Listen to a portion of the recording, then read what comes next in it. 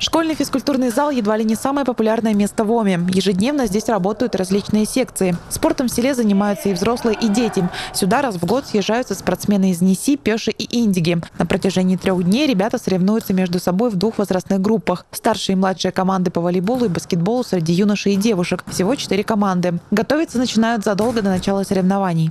«Спартакиаде» мы начинаем постепенно готовиться уже с сентября. По подготовке к соревнованиям условия не, не, неравные. Из всех приезжающих населенных пунктов спортзал есть только здесь у нас в, в, в, в Оме. Ни в Неси, ни в Индиге, ни в Пеше спортзалов не было. Несмотря на различия в условиях, уже не первый год все ребята показывают отличные результаты, попеременно завоевывая первые места. Спартакиада – это большой праздник, куда попасть хочет каждый ученик. А главное, с ее появлением спорт в Канино-Тиманском районе пошел на подъем, отмечает директор школы Людмила Болтовская. У нас сейчас в школе нет курящих мальчиков.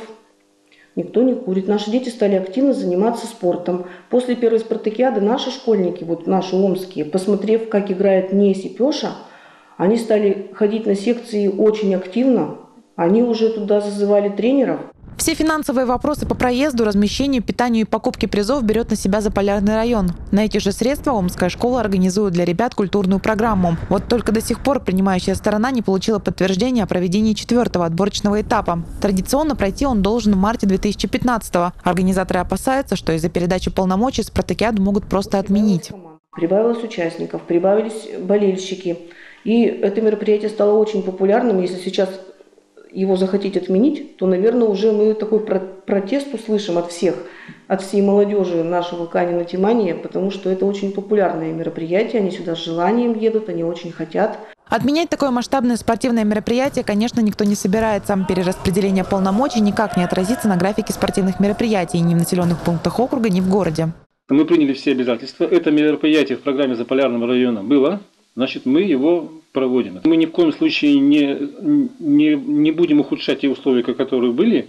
Я думаю, что мы будем стараться совершенствовать даже систему проведения мероприятий. То есть очень правильная идея проводить мероприятия кустовые. В данном случае это Несь, Ома, Нижняя Пеша и Индиго съезжаются в одно поселение, выявляют сильнейшего, и сильнейшие приглашаются потом на, на финальную часть. Кстати, провести финальную часть спартакиады организаторы считают возможным в одном из населенных пунктов округа, например, в Нижней Пеше. ФОК там уже построили. Ирина Цепетова, Александр Усачев, телеканал «Север».